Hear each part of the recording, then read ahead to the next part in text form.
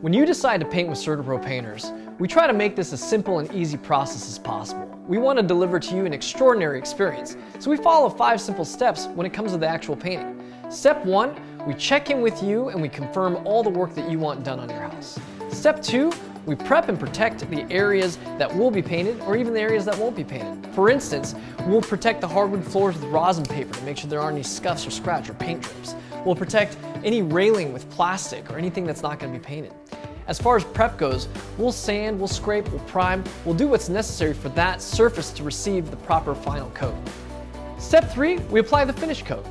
Once the finish coat's applied, we move on to step four, which is simply inspecting the work. We do our own internal inspection on every single room or every single wall of the house until we feel like it's done. Once we feel like the work is 100% complete, we'll come to you for the final step, which is our pride walk.